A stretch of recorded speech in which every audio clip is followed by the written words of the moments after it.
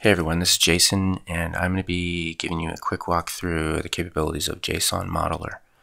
Um, what we're going to do in this video is um, I'm just going to create a quick uh, Xcode project with a simple table view um, that fetches um, some data from an API, and it then will take the data, push it through JSON Modeler generated classes, and we'll take those classes and then we'll um, get the data out of it and populate our table view. So um, I have my table view already set up here and um, just clean it. And so we have our prototype cells. I'm using a basic cell type. The identifier is basic cell. And um, it has a counterpart um, called table view controller and the uh, class name for this table view is table view controller. So I've already kind of pre-set up a little bit of this stuff, um, just kind of speed things up. But um, this is pretty much the boilerplate code we get when we create a table view controller from uh, Xcode. And I put a couple um, networking functions down here that we'll get to in a minute. Um, we're going to be grabbing the data from JSON placeholder. Um, it's pretty cool site. It's got like uh, some good um, endpoints that you can hit if you just want to kind of jump in and start testing out part of your uh, networking and um, your model stack in your uh, in your project. And we're going to use the um, users endpoint. So um, it's going to, it basically returns, you know, 10 items it says, and if we go look at the data from the endpoint, um, one of the reasons I chose this one was because it did have some nest data in there, so I can show you actually how easy it is to, um, you know, consume, you know, a decent sized graph with a JSON modeler and have it just spit out all the code for you and just do everything. Um, so we got the top level user here, and then we hit the address, which has a geo in it, and then the user also has a company, which has some properties. So um, it's a pretty good example, pretty simple. So it's uh, it's easy to understand. So this is what the data is we're going to be looking at. And so I'm going to copy this endpoint link, and I'm going to go over to JSON Modeler. Now, one thing that we've added in 1.2 is we've added a REST client. Um, before you had to take and paste your JSON manually in this left panel here, and then that would generate all your code for you. Um, now we have this nice REST client, so I can take that endpoint and just paste it in. Um, we support all the verbs uh, that you would need. Um, probably won't need that many outside of get, um, but they're all there. Uh, if you have to, you can you can set uh, request body uh, parameters, um, headers, and you can also do basic and, and digest auth too. So it's pretty cool. For this example though, we're just going to be using this get on this simple endpoint and hit submit. And then what it's going to do is it's going to give you a preview of what the response data looks like. And it's basically exactly what we looked at on the, uh, on the web page. So I'm going to hit OK. And now what it's done is it's taken the data and it's pasted it in here for you, and it's going to generate you know the necessary uh, models based off of the data. Um, and so let's go through some of this part really quick. Um, we'll start at the bottom.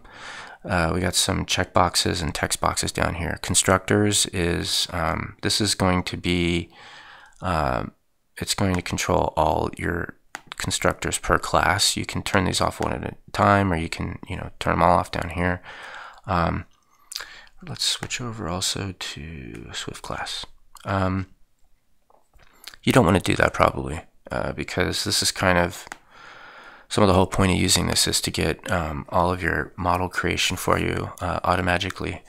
And by removing the constructors, you have to make it yourself. So that's what that's for. But you know, you can remove it if you want, if you have some need. Um, utility methods is really all that is right now is just um, the inverse. So it's making the um, the properties themselves um, in a dictionary format. So it'll go through and just um, you know make those available, and I leave those in there as well. Um, the root class name. So we can think of that being Um, either sometimes if it's not an array, um, you want to name the enclosing class here something. Um, in this case, it's an array, so I don't really want to name it an array, and it's going to actually represent what's in the array. So in this case, it's going to be user. Um, because I hit the user's endpoint and you know I'm rendering user data eventually. So uh, I'm going to make the root class name user, and that's going to change this box up here. And we're going to see that um, you know I have all my uh, properties and constructor and utility methods. Um, one thing to note when you first start JSON modeler up, it's going to ask you for access to your address book. It does that so it can fill in that line right there. Um, you can deny it, and if you do, uh, when it generates the code, it's going to look like that. So it's up to you. Um, I I said yes, so I could get you know the name and everything in there, and this is pretty standard with with Xcode. So um, again, just leave it in there, um, but you can take it out if you want. Um, so back to this area down here, the class prefix is you know your usual um, couple letter prefixes like uh, you know, MZ. And so, whoops, um, that's going to prefix all of your classes, um, you know, like we have been doing in Objective-C for years. Um, Swift, obviously, or implicitly namespace, so you don't have to do that. Um, but if you're working with Objective-C and you need that, then that's what that box is for. I'm going to take it out. As soon as I lose focus, um, everything changes back.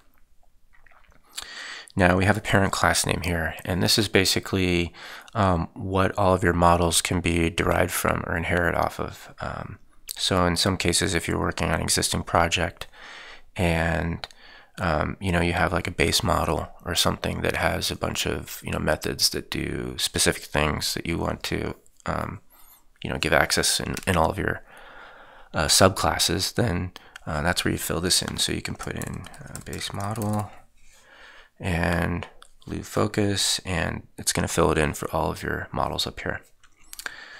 Um, in this case I don't need it so I don't have a base model so take it out. Lastly um, we have we have a couple we have some variations of Swift and Objective-C uh, styles that you can generate as well as a couple Java.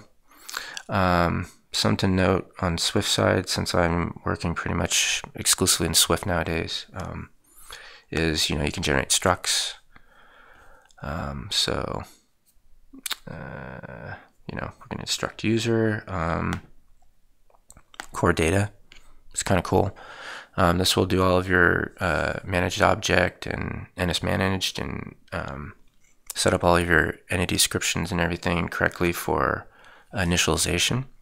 So we don't set up the entire core data stack for you. You're going to have to obviously have that in there. But if you're using core data, um, you can select this option, and you know you'll get all the um, necessary boilerplate for those models, um, at least to create them. And uh, you know, then of course there's Objective-C and everything. I'm just going to continue with this demo, we're just going to use Swift class because we don't need anything special for it. Um, and one final note is up here we have a valid JSON structure. So it's in the green and we're good, but if I wanted to not make it good, um, you know, we check it and uh, we will not let you save any of the models until the uh, JSON structure is, is valid. So um, that does work and uh, it's saying that for a reason.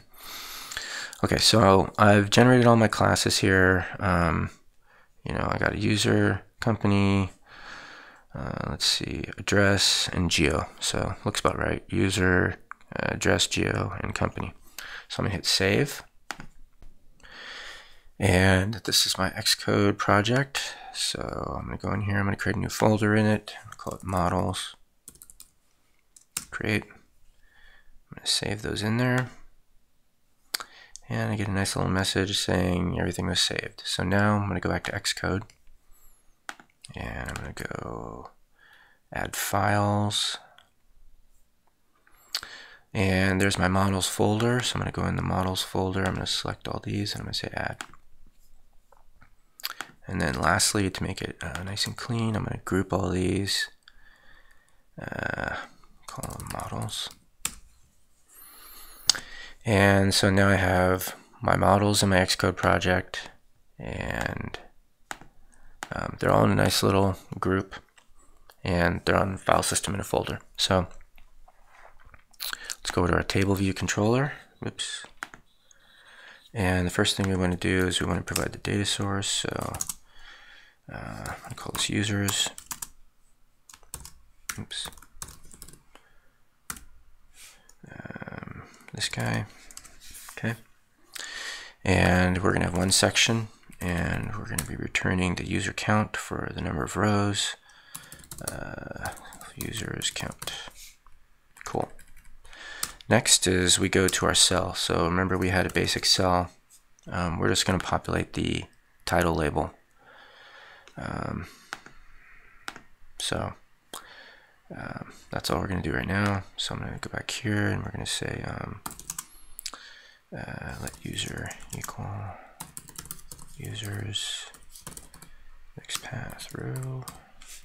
Get the right user out for the cell. Um, we're going to say cell dot text label text equals, and let's do like a user ID, and we'll do username. Uh, I guess yeah, okay. Uh, user name, and let's just show the email as well. So we'll do user email. Okay, it's probably not, not all going to fit in there, but you know, again, this is just to demonstrate that um, you know we're pulling these uh, bits of data out. So this should be good for the cell. Um, I've grabbed my user, I've uh, populated the text label, should be good to go. So now I have these networking um, functions that I added from before, and the first one is my basic simple uh, networking call to go fetch those users and then um, populate them in the in the data source array that we have um, up at the top of the class. Um, so I know that my data returned uh, is an array. So this is my top level.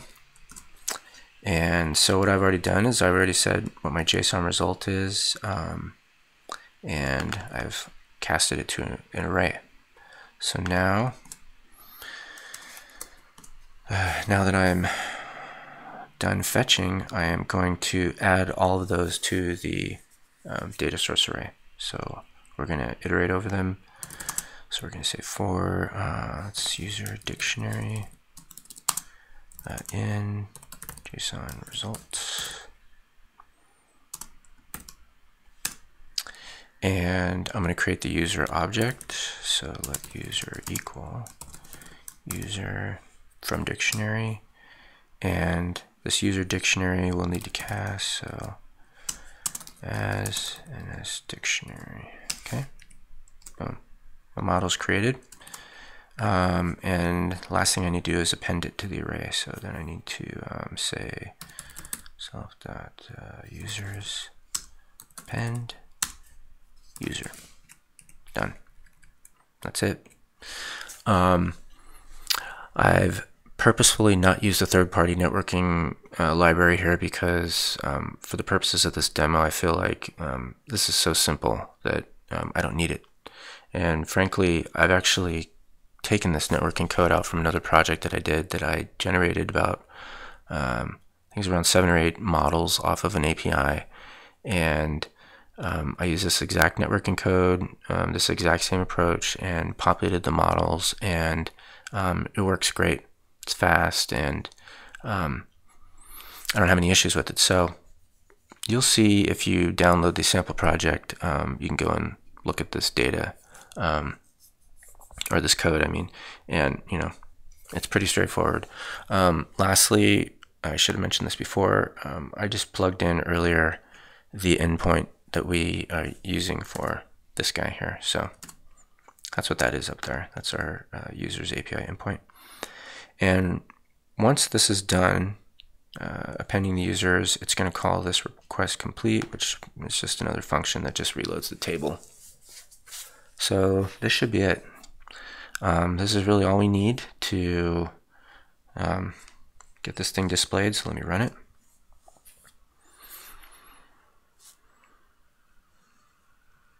And there we go. There's our 10 results. Um, we have ID, name, and email. And that was not very difficult at all to do. Um, it probably took me like another, you know, 10 or 15 minutes to set up this Xcode project, um, um, you know, behind the scenes before I did the video. But um, this is pretty straightforward and pretty simple. And it's kind of, it's why we made, you know, this tool. Um, because, you know, we've done this thing in the real world and we continue to work on um, iOS projects that you know do this exact same thing fetch API um, push stuff to an API and using JSON modeler for those kinds of things just takes like a ton of tedious like boilerplate work um, and basically gets rid of it and then you know we can focus on more of the actual implementation that we you know we want to show people and not, you know, spending a bunch of time, you know, hand coding a bunch of models. Um, so this works. We have it on projects and um, we use it in real life. Uh, lastly, we have some, looks like some warnings here. This is um, Swift 2 compiler stuff. So uh, we'll have a, a, version out that will have this updated um, soon. Uh, but, you know, simple fixes and just making sure that everything's happy with Swift 2. So that's it. Um, hope you enjoyed this and um, come over to the webpage and um, you can, you know, leave support questions um, and, uh, you know, leave a review on the App Store if you like it. And uh, thanks for watching this and good luck with your projects. Cheers.